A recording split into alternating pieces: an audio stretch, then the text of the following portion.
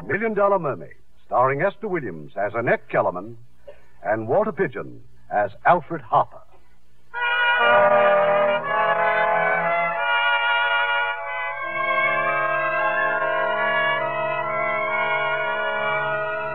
This is the story of Annette Kellerman.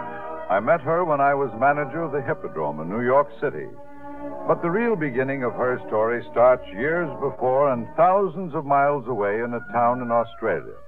As a child, Annette was a cripple with heavy braces on her legs. One afternoon, she disappeared. When her frantic father finally found her, But, Daddy, I'm all right. All I did was go in swimming. Oh, the water's just wonderful, Daddy. Annette, my baby. In heaven's name, whatever possessed you? You you might have drowned. Oh, but I can't drown, Daddy. I've learned to swim. Darling, you know what the doctor said. That your legs would never be strong enough for what other children do. My legs are strong. Look, I can even walk without my no, braces. no, no, no, you'll, you'll fall.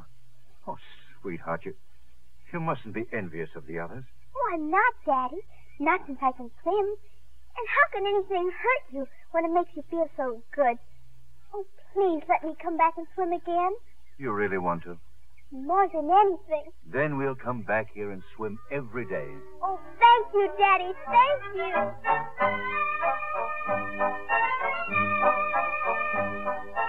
As the years hurried by, the iron braces were discarded and forgotten. Annette became an expert swimmer, and a gleaming array of silver loving cups stretched across the shelf in the study of her father's Conservatory of Music.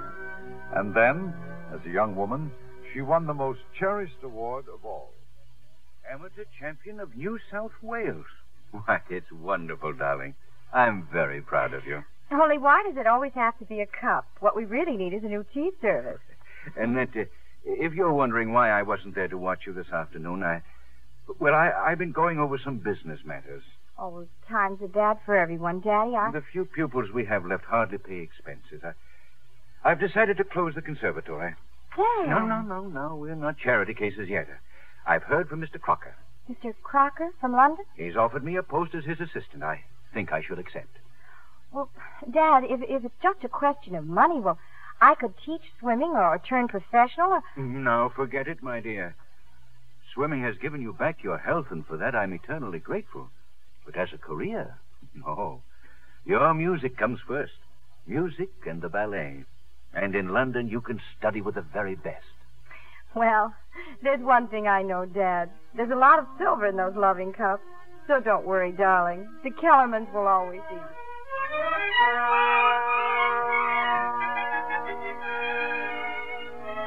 Among the passengers on the long voyage to England was a young fellow named Sidney. Sidney was a kangaroo. And I'm not going to warn you again, Mr. Sullivan. If you let that kangaroo out of the old just once more, I'll put him off at the next port and you with him. Well, I'm terribly sorry, Percy, but, well, Sidney isn't just a kangaroo. He's a boxer, a prize fighter, greatest left hook in the business. I don't question that. Just look at my jaw. Hey, Doc, take Sidney down to the hole. We'll have to forget his road work and put on the gloves, though, and give him some exercise. Come on, champ. Let's go. I, uh, I hope we didn't scare you too much. Oh, no, we're very fond of kangaroos. Good, good. You, uh, you're bound for London, too? Yes, my daughter's going to study the ballet. Well, you must be my guests at Sydney's opening. I'll be at the Greenwich Carnival. Well, that's very kind of you. Yeah, just ask for Jimmy Sullivan. Sullivan's Wonder Show. Uh, my name is Kellerman. My daughter, Annette. Annette Kellerman, the uh-huh. swimmer? Well, I've read about you in the newspapers. Yes, my daughter just won the Amateur Freestyle Championship of New South Wales. Set a new record, too. Oh, Dad. Yeah, but you did. Well, swimming's very popular in Australia. Yes, I can understand why. Well, I hope Sydney's a big success, Mr. Sullivan. Come along, dear.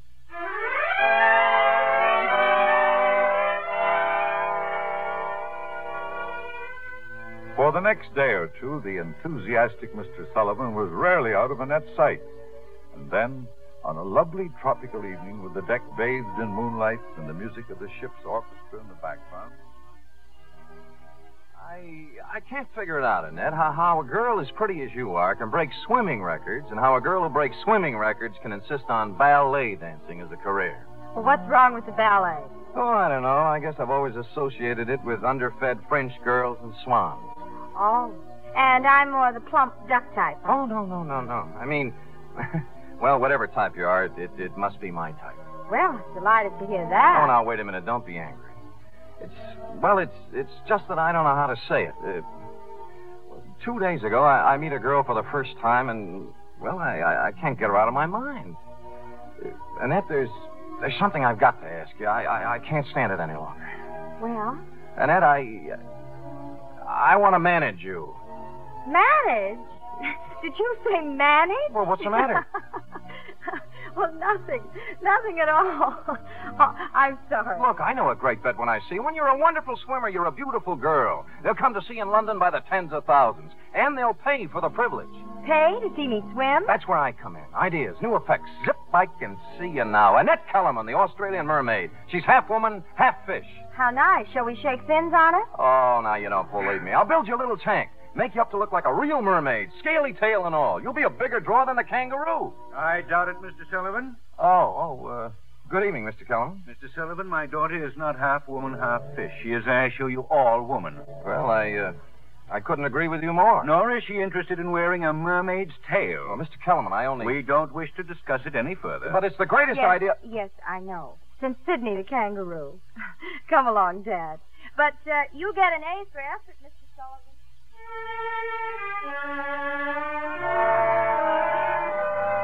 Sullivan. The Kellermans reached London, but they'd come halfway around the world only to learn the crushing news that they'd come for nothing. The Crocker Conservatory music was closed. But surely there was some message for you, Dad. Someone must have been there. Just the caretaker. Mr. Crocker's dead. Oh, Been dead almost a month. I don't know what to do, Annette. Our, our funds are all but gone. well, th- there's one thing we can do.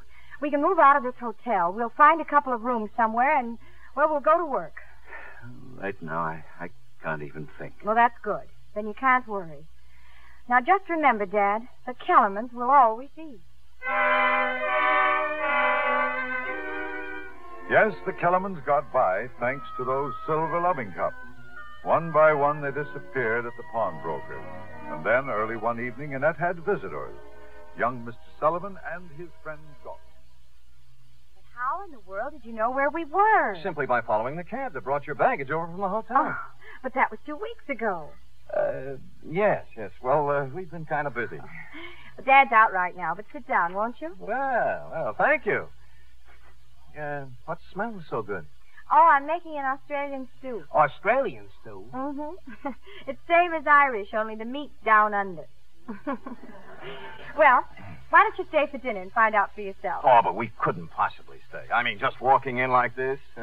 No, no, no, no, we couldn't. Well, there's plenty, and I insist. Now, while I set the table, you can tell me all about the kangaroo. How is Sydney? Sensational. He's developed a one-two punch. Yeah, and I've got the nose to prove it. Look at this. Oh, dear. Yeah, he's the greatest act ever to be put under a tent. There's only one thing wrong. No one knows about it. and that's where you come in. Where I come in? Annette, listen. Once we get enough people down to the carnival, the rest will take care of itself. So, but, well, so we thought maybe you'd like to make a little money. Hmm. But, but how? Well, the idea I had in mind was to swim down the Thames River, maybe five or six miles, ending up at the carnival at Greenwich. Oh, we'd follow you in a rowboat, of course. If uh, if Sydney could swim, we wouldn't bother you. We'll, we'll, we'll pay you five pounds and 50% of the first day's proceeds. Well, well, if you're going to stage a swim, why don't you make it a real swim? Six miles won't impress anybody. Twenty-six miles might. 26 miles? I can't even row that far. Annette, you, uh, you're not joking. Of course not. Well, if you mean that, why, I'll stay in this town on its ear. I'll notify the newspapers. We'll really ballyhoo it. Why, Sydney will have to fight off the customers. And you'll give me five pounds. You need the money badly, don't you? Well, yes, we could use a little. Oh, I'll swim on just one condition, though. My father isn't to know about it until it's all over. You've got a deal. Well, that's good. Now, sit down and have some stew. Uh, remember those cups I won that Dad told you about? Well, of course we remember. Well, you may not be aware of this, gentlemen, but you are about to dine on the Freestyle Championship of New South Wales. Annette started her swim at dawn the next morning, but the crowd James Sullivan had counted on somehow wasn't there. No one was there. It was a cold morning, thick with fog. But Annette needed that five pounds, so she kept swimming. Slowly, gradually, the news got around. Clusters of people gathered on the bridges, some joked, some cheered. But as the hours dragged by, Doc and Jimmy knew she'd never make it. What's the matter with you, Doc? Pull those oars. I'm doing the best I can. The tide. It's a mill race. It's like a war. The fog's getting worse, too. Oh, well, we'll still get publicity. Swing alongside of her, Doc. We'll pull her in. Yeah. This is it, huh? Yeah, I know when we're licked. I can let her kill herself for five pounds. Uh, look, maybe if I we said if we're going to little- pull her in. This is it, honey. Come on aboard. No. No, I'll make it. Don't be foolish. There's always another time. No, Jimmy, please. Look, you'll kill yourself fighting this tide. I, I can't give up now. I just can't. How, how much farther do I have to go? I wish I could tell you. With a fog like this, I, I can't see the landmarks. I, I think it's starting to lift. It doesn't matter. We'll get you ashore and... No. No, not yet. Jimmy. Hmm? Jimmy, look. Straight ahead. It's Greenwich. It's Greenwich. How far? About a about a mile away. Can you hold out, honey? Sure. I'll make it, Jimmy. I know I will. What do you think of a girl like that? Annette's phenomenal swim brought Londoners by the droves down to Sullivan's Carnival. But it wasn't Sydney, the boxing kangaroo, that they wanted to see. Oh, it's no use, Jimmy. We're selling tickets for the wrong attraction. Yeah, poor Sydney. Looks like you swam him right out of his career. This just doesn't make sense. The whole idea was for Sydney. Annette, you've made this swim without consulting me. Oh, well, Dad. I- I'm not complaining about that. I'm very proud of you.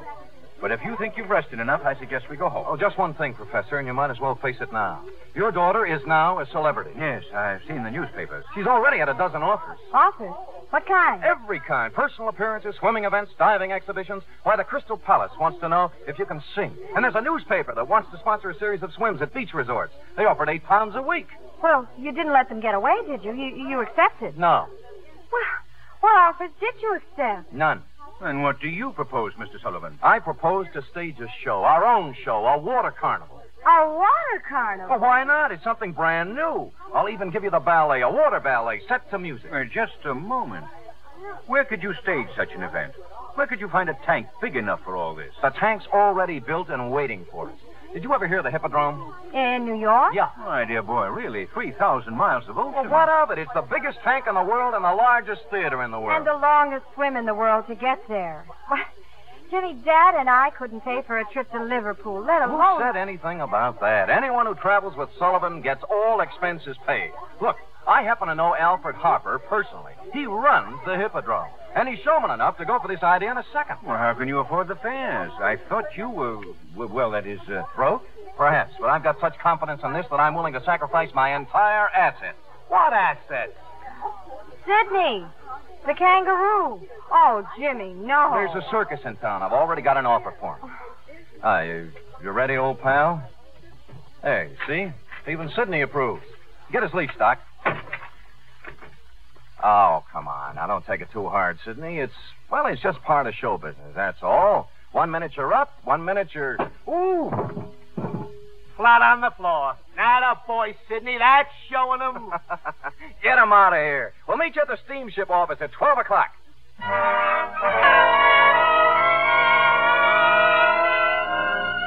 As far as I was concerned, Annette Kellerman was just another pretty girl on the day when Jimmy Sullivan brought her into my office at the Hippodrome. As for Jimmy's great idea, well, I, I, I just couldn't take a chance. But what chance are you taking, Mr. Harper? You admit the idea is good? A large part of our success is big names, Jimmy. You saw the billboards out there Houdini, Marceline the Clown, Pavlova. But you want me to star an unknown girl. Mr. Harper's right, Jimmy. Nobody knows me here. Well, they know you in England. They know you in Australia. Look at these press clippings, Mr. Harper. Headlines, columns. Yes, they're very impressive, but I can't build a show around a swimmer. Annette isn't just a swimmer. Well- and this water carnival idea is tailor-made for the Hippodrome. Look, Jimmy, we stage spectacles here, of course, but everyone has a plot, a story. It isn't that I don't like the idea, but I.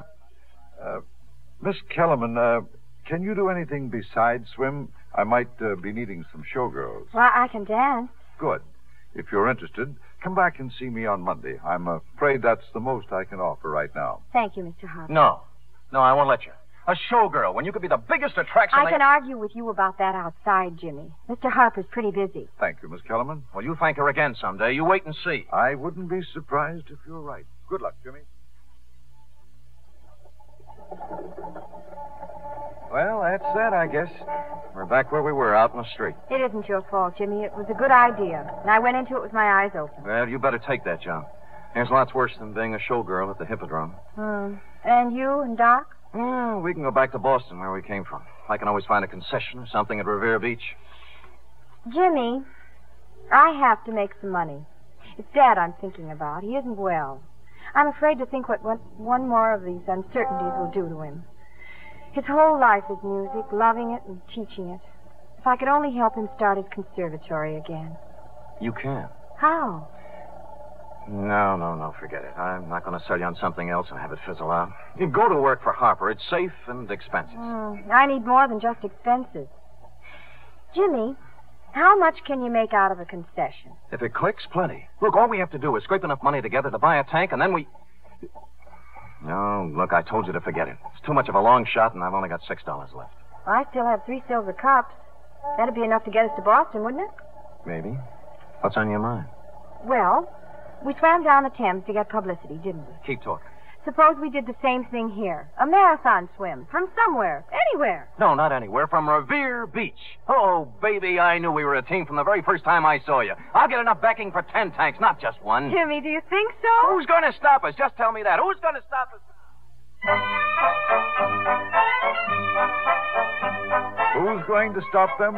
Well, they were stopped by nothing less than the stoppingest institution in the land, the law. Annette had planned a 20 mile swim starting at Revere Beach. But as she walked down to the water, the crowd on the beach stared speechless and goggle eyed. Annette was wearing a one piece bathing suit. Well, they weren't speechless for long. I can hardly believe my eyes. Mommy, Mommy, look at she's wearing. Come away, Oh, this is ridiculous, Jimmy. Please, can't I start now? There's a photographer I'm expecting as soon as he gets here. Now, look, don't let them bother you, honey. These same people will be cheering when you come back. Jimmy, let me start. Well, well, all right, go ahead. And don't worry about anything. Just a minute. What do you think you're doing? Officer, this is Annette Kellerman, the famous Australian swimmer. She's about to embark on a 20 mile swim. Not in that outfit. Why, this is disgraceful. Officer, I'm going to try to swim 20 miles. How can I swim in, in what those women are wearing? I'd drown in an outfit like that. Just cover yourself, miss, and hurry up about it. Come on, Jimmy, let's get out of here. Not on your life. You've done nothing wrong, and I won't let anyone intimidate you. Well, just for that, you're under arrest. You're both under arrest. Annette Kellerman arrested for indecent exposure. Australian girl causes near riot at Revere Beach. One piece bathing suit shocks Boston seaside. Indecent exposure. Held for trial. Oh, those hypocrites, those sanctimonious, blue-nosed hypocrites. Oh, Dad, what are we going to do? No, no, dear. Hey, the lobby's full of reporters. They want to know can they come up now? Well, tell them to go away. Tell them I've left town. Well, as far as I'm concerned, this is the greatest thing that ever happened. The greatest. I, I, I'm booked and fingerprinted and arrested like a common criminal, and you say that. Don't you realize who you are now? You're the standard bearer for all American womanhood. In your hands lies the power to break the shackles of prudery and convention. But go ahead, run away if you want to. But I tell you, this is more than a trial. It's more than newspaper headlines. This is a crusade. Bravo. Huh? I said bravo. But it's up to you, Annette. You can pay the fine and leave Boston tonight, or you can accept the challenge and go to court. Doc, you tell those reporters to come on up here. I'll give them a story. Bathing suit and all. I suppose the entire country knew about Annette Kellerman and her one piece bathing suit by the time she appeared in that court in Boston. The prosecutor's job was fairly easy. After all, Annette admitted everything. and has brazenly flaunted every statute of decency. Your Honor, her guilt is incontestable. She admits she wore the garment in question. I admit no such thing. What's that? You deny you appeared before several hundred men, women, and children on Revere Beach clad in a flimsy piece of material that barely covered. I admit I wore a one piece bathing suit. I do not admit it was indecent. Then what would you call it? Your arms and shoulders completely exposed, not to mention your calves and legs. Also, my ankles, my toes, my knees, and my fingers. Your Honor, this flagrant disrespect is nothing I short. object, Your Honor. Are you the attorney for the defense? No. Then sit down before I ask you to leave. Uh, Miss Kellerman, is there anything more you wish to add? Yes, Your Honor, there is. Uh, You see, I've been swimming in competition all my life, and the only way I've been able to compete successfully is by wearing a man's one piece racing suit. After all, sir, you can't deny me my right to swim, can you? No, certainly not. Well, then, how is it possible to swim a race tied up in a corset and ten yards of wet drapery? Uh, Miss Kellerman, please, I'm not the one on trial here. I'm sorry, sir. Your Honor, do the authorities object to the one piece bathing suit or to the fact that the limbs are not entirely covered? Oh, I see no reason to base any decision on the number of pieces in an article of clothing. Ah, well, then perhaps I can suggest a compromise. Now, here in this box is the original racing suit. There, you see? The same suit? Uh huh. Except that I've sewn some stockings on the bottom and a jersey on the top. And as you can see, this will cover the entire body except the forearms and the head. I consider this shocking, Your Honor. I consider it rather ingenious. And uh, this is the bathing suit you'll use in the future? Yes, Your Honor, or others like it. In that event, Miss Kellerman, this case is dismissed. Thank you.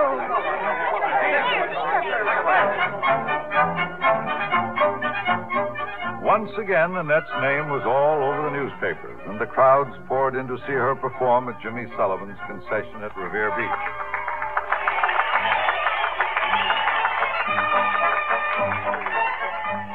Week after week, the money rolled in, and week after week, Jimmy became more and more certain that Annette meant a great deal more to him than just the source of his income.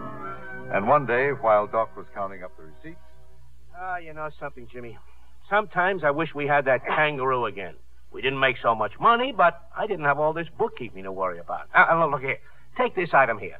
Personal, $200. What's the idea? Take a look, Doc. Is this personal enough? Diamond ring. Well, did you ask her yet? Today's the day, Doc. Season here closes real soon, and I. And you want somebody to keep your feet nice and warm at night. Great, but what about me? Doc, I've got an idea for something brand new. A great idea. A swimmer and a flyer. Flyer? That Bud Williams act is dynamite. Do you know he can actually take that contraption 400 feet off the ground? Nah, I don't like it. It's against nature. Can't you see that big new poster now? Sullivan's combined shows King of the Air, Queen of the Sea. Oh, don't get me wrong. Annette will still be our number one attraction, but, well, we can dream, can't we? Well, here she comes, dreamer. Hi, I'm not late, am I? I'll go out and sell them tickets. Uh, whose carriage is that out there? A man named Aldrich. I had lunch with him in town. Aldrich? Uh-huh. He has a lecture bureau. He's offering me a great deal of money, Jimmy, just to do a series of lectures. Oh, what kind of lectures? Well, uh, he says he sees me in a very dignified presentation, telling about the body beautiful and, and perhaps a ballet exhibition. oh, no. Well, what's the joke? We close here in another week, and I. Darling, I'm sorry, but one of us must be nutty. Can you imagine yourself up on a platform with a pitcher of water and a ballet, dancing around in some gauze window curtains? Well, for the kind of money he offered me, yes. I don't see anything funny about it at all. Oh, you will. So will the public. You mean this is so much better? So much more dignified, so much more cultured? Swimming around in a in a two by four tank like a trained seal in a, a cheap carnival with a fat lady on one side and a fire eater on the other. Oh, now, wait a minute. Well, that's what Mr. Aldrich thinks about it. Put on your suit, Annette. The show starts in 20 minutes.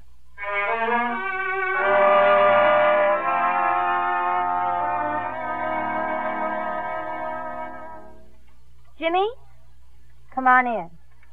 Well, you, uh, you were great just now, as usual. Bet we turned away 200 people. Is that what you came to tell me? No, I uh, came to tell you I'm sorry. Big mouth of mine. Oh, Jimmy, we shouldn't quarrel. Not about this lecture business, anyway. But it must be important to you. Else you- Look, we came here for one reason only money. Anything that offers us more money is more important. Darling, it's $500 a week for 10 weeks. I see. And it puts me that much closer to the Kellerman Conservatory. You're doing this for your father, is that it? Well, in a way, yes. And it isn't as though we were splitting up. I'll talk to Aldrich. I'm sure there'll be an important job for you. Yeah, like uh, filling the water pitcher? Jimmy. Or pinning up the drapes, or maybe I could come out first and give a short talk on how high class we are. Look, baby, somewhere along the line we got our signals crossed. You got it in your head that you're Joan of Arc or something. Well, get it out fast. You're a swimmer doing a tank act in Sullivan's Water Carnival, and it's not a bad show either. And how long can it last? After all, all we're doing is capitalizing on a lot of cheap bathing suit publicity. Well, what's Aldrich got in mind that's any different? He's cashing in on the same dodge, a ballyhoo that I arranged. You arranged? Well, who do you think got that cop to arrest you in the first place? Oh, no, Jimmy. You didn't. Didn't I? How, how can you stand there? What about all the talk about a crusade and Bunk. how I was... Bunk, who cares what a lot of females wear on the beach as long as I can keep you in a one piece bathing suit? Baby, you're a swimmer. You belong in the water. Wet, you're terrific. Dry, you're just a nice girl who ought to settle down and get married. Well, thank you. I'm very grateful for the advice. But if and when I do get married, it will never be to a cheap, stubborn flea circus proprietor. This flea circus does all right for the fleas in it, except when they jump out of their cages. You want to be a toe dancer? Okay, honey, be a toe dancer and see what happens.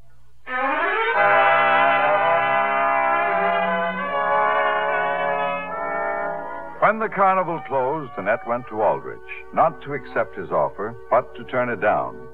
It was then that I re entered her life. We'd changed our policy at the Hippodrome, and I have sent her a telegram asking her to come to New York. What's the matter, Dad? Aren't you excited about it? Alfred Harper, the New York Hippodrome. Yes, it sounds wonderful, dear. Oh, this is just what Jimmy always said I should do, and he... What is oh. it, Annette? What's wrong?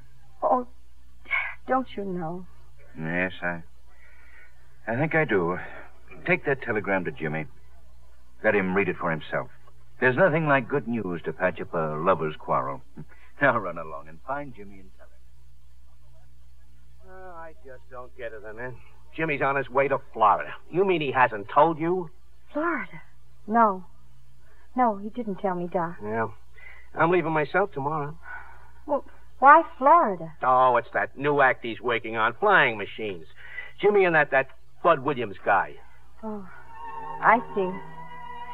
Well, tell him, tell him if he finds time that he, he might drop me a postcard. Yeah, that, that dumb Bostonian. Tell him he can find me at, at the New York Hippodrome. Good luck, Doc.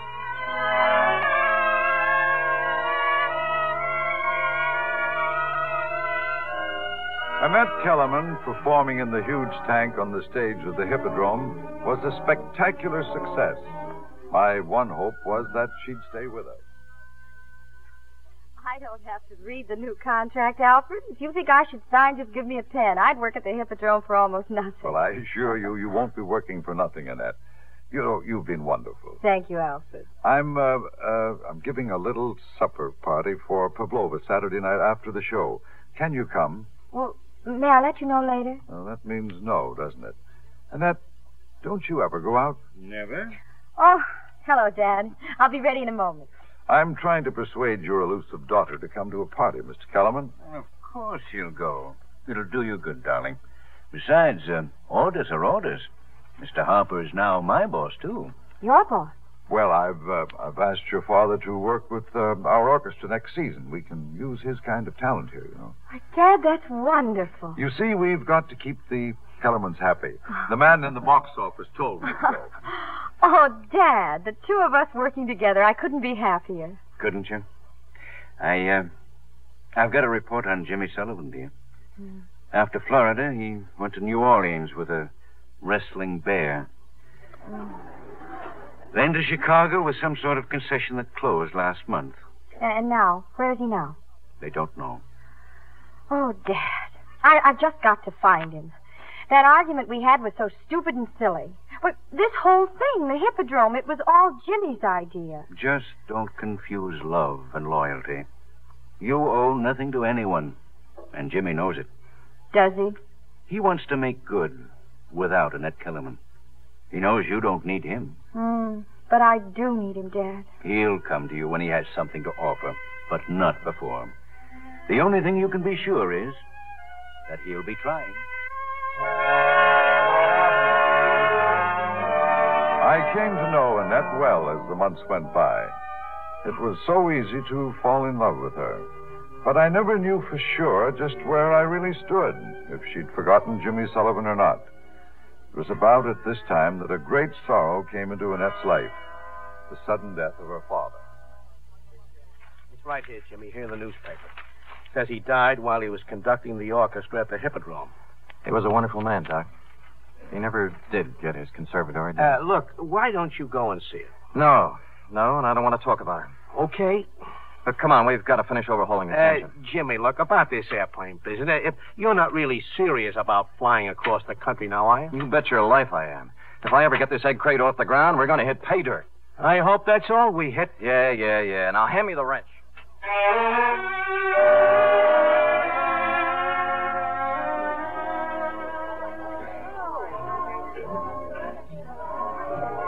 I'll be with you in a moment, Alfred. nothing important. Fred just told me there's someone here to see you at the stage door. Oh, who is it? Oh, I really don't know. You seem very absorbed in that newspaper, Alfred. What's so interesting? Oh, I'm sorry. Here, look at the headline. Twelve aviators to start coast to coast flights. Hmm, that's quite a stunt. $50,000 in prizes. Poor fellows. They'll all be killed. Hmm. Well, shall I tell uh, Fred you're busy? Oh, oh, the man at the stage door. No, no, I'll see who it is. Oh, boy, what a dressing room. well, I can't say you don't deserve it, Annette. Come on in, Doc. Tell me all about yourself. I was never so surprised to see anyone in my life. Well, I uh, I hate to bother you, Annette, but well, somebody's got to talk Jimmy out of doing it. Doing what? That bug house air race. He's got his eye on that fifty thousand dollar pot, and he You took. you mean Jimmy's going to fly to California? Well, he's he's going to try, and you should see in what. But Doc, he's no flyer. That's what I've been telling him. But you know Sullivan. I just thought maybe there was something you could figure out. Oh, well, when, when does he plan to start? Any time now. Perhaps tomorrow if the weather's right. We're out there at Montauk Point, so maybe if you... Doc, Doc, I've got a performance tonight. Yes, I know. Well, don't worry. I'll be out there. I'll think of something. Thanks. Oh, and, and I'm so grateful you came to tell me. Just don't let them know. I'm in trouble enough now. All right, I won't, Doc. Thanks again. Annette was at Montauk Point early the next morning. Jimmy was just about to take off. Hey, I'm sorry, Mr. Sullivan. She must have crawled under the ropes. You want me to get rid of her? Get rid of her? Why, this is a very famous personality, Annette Kellerman, the well-known lecturer. Jimmy Sullivan, I don't care what happens to you, but Doc is a friend of mine, and I forbid you to take him on this flight. You see what I mean? Greatest lecturer of her day. You heard me, Jimmy. Well, that's sweet of you, baby, but you don't have to worry about Doc. He's not leaving the ground. He's driving the repair car. That's me, Annette. Still the guy in the rowboat. You all ready, Mr. Sullivan? Right. Jimmy, please don't force me to take drastic action. Drastic action. Why, I've never forced you to do anything, honey, remember? Okay, Doc, let's get her started. Mr. Glover, please. Yes, ma'am. You James Sullivan? Well, here's a summons for you, Mr. Sullivan. Your flying machine has been attached. Look, go away. Sorry, it's a court order. Court order for what? Non-payment of monies owed to Annette Kellerman. That's right, and don't look so surprised. I had an accounting of all the books when you ran the concession at Revere Beach. There's a personal item marked $200, and you can explain it in court. Oh, oh, that. Well, I'm sorry, honey. Here. Here's the item in question. It's a diamond ring. You can sell it somewhere. Okay, Doc, turn it over. Thanks for trying, honey. Clear the field. Clear the field, lady. Oh,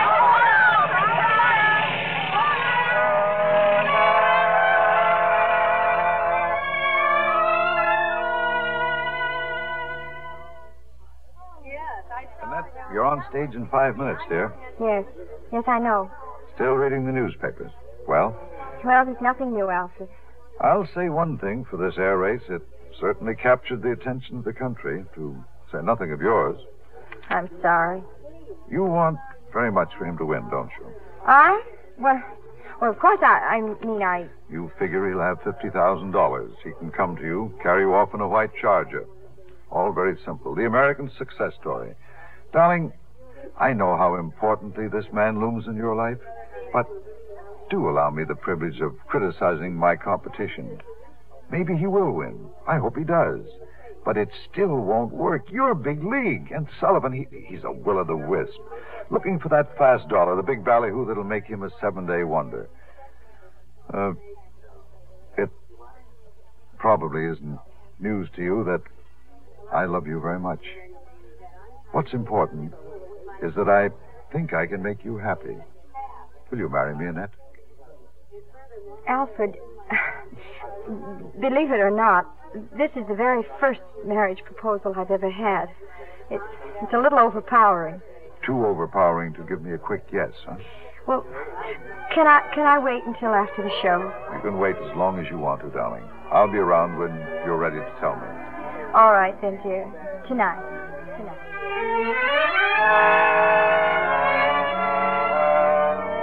But once again, Jimmy Sullivan crossed our paths. During the show, a telegram arrived for Annette from Doc. Jimmy had crashed. He wasn't badly hurt, but they'd taken him to a hospital. Annette put through a phone call immediately. I didn't even talk to him, Alfred. He'd already left the hospital. Really? They, they patched up his arm and, and, he, and he left. Uh, where did he go? Well, they don't know. All they know is that, well, he's gone. I suppose Annette forgot all about my proposal and the answer I was waiting for. In a way, I couldn't blame her. Some months later, shortly before Christmas, a friend of mine from Hollywood dropped by. A movie producer named Garvey. It's a great challenge, Harper, and a wonderful new medium. If you could only persuade her to come out there. Well, haven't you talked to Annette about it? Well, no. I thought you were handling her affairs. Well, don't let that fool you. I advise her, but uh, she's a lady who makes up her own mind. ah, Hollywood. Hmm. Might be a good idea for her. Might even be a good change for me. For you? No, oh, sorry. I'm just thinking out loud. Uh, well, suppose I ask her now. Well, she's here? Yes, she's uh, giving a little Christmas party this morning. Kids from the Children's Hospital. Come on, we'll we'll both ask her. Well, I wish I could, but I'm supposed to meet my wife. Uh, let me know what she says, will you? I'll uh, call your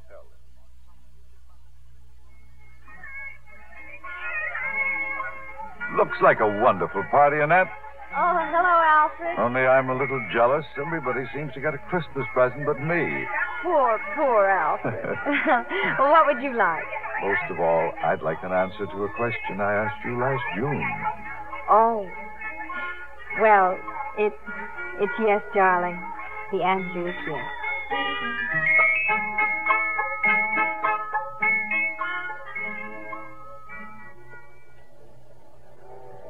Left for Hollywood not long after. We had some wonderful plans. Annette would make her picture, then we'd be married and sail to Australia on our honeymoon. In New Mexico, a man came aboard the train. We ran into him in the dining car. So good to see you, Jimmy. Uh, you got over your accident, I see. That? Oh, oh yeah, long ago. Uh, Doc and I, we've, we've been out west. Oh, and everything's all right, huh? Well, naturally, naturally. Everything's fine, fine. I, uh, I read where you two are going to be married. Congratulations. Thank you, Jimmy. Yeah, it's, it's a great idea. About time you started raising a family of little swimmers.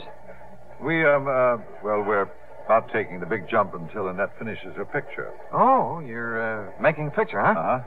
Well, as a matter of fact, I'm uh, going to Hollywood, too. Well, if we can be of any help Oh, now... thanks, but uh, I've got a few contacts myself. Well, will they see my new star? Well, uh, it's nice seeing you. Lots of luck to you both. Thank you, Jimmy. Annette went right into her picture. There was no word from Jimmy, and I quite forgot about him.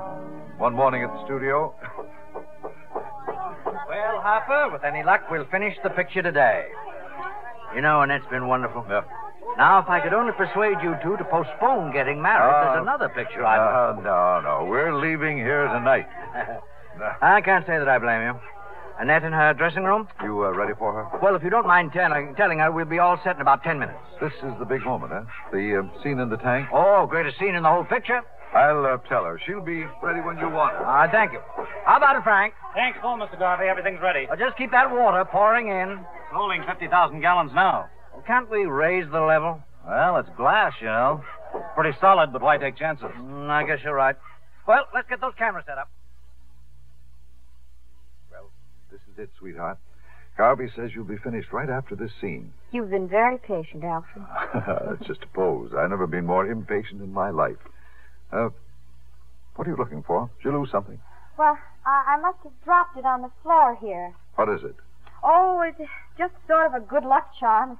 It's a ring that I. Oh, uh, this ring Oh, oh, yes. Thank you, darling. looks more like an engagement ring. Well, I I've been wearing it whenever I perform. It's silly, isn't it? No, not if it makes you feel any better. Ready, Miss Kellerman. Well, I'll be right there, Frank. Uh, one take and we'll be on our way out of here. Well, keep your fingers crossed. See you soon, dear. This was a big scene, an underwater ballet beautifully staged. Everything seemed to be going fine when suddenly Frank rushed up. The tank, Mr. Golly. Huh? The glass is cracking. Get her out of there. It's going to split wide open. Get Miss Kellerman out of that tank. Hurry. The glass is breaking.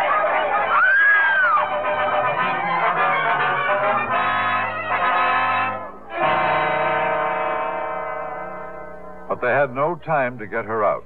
The water roared out of the shattered tank, and Annette was catapulted through the broken glass.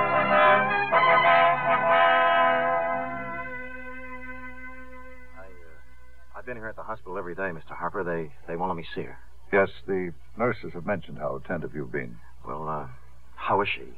Did they operate? This morning. We'll know very shortly now. Mr. Harper, before you go up, I'd like to talk to you. Oh, uh, this is Mr. Sullivan, Dr. Vance. How do you do, Mr. Sullivan? Doctor. She's resting comfortably.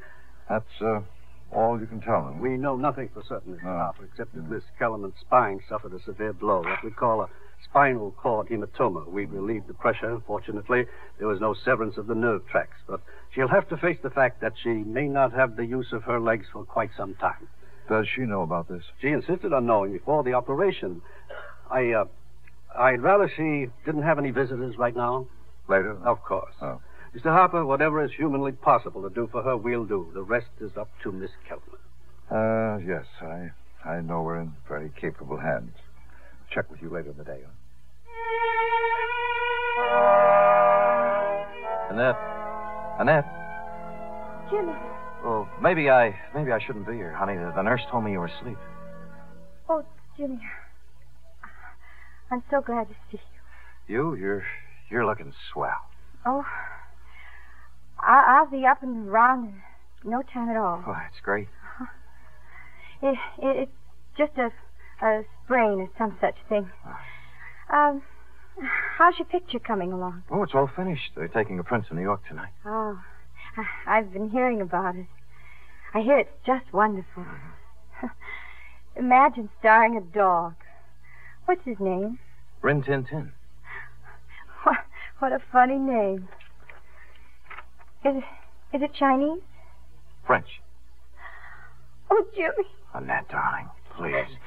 Oh, baby, don't let it catch you, please. The doctor, he he may know medicine, but there are a lot of things about people he doesn't know. He doesn't know about a little girl with braces back there in Australia. They told her the same thing, too. He doesn't know how she hobbled every day to the water learning to swim before she could walk.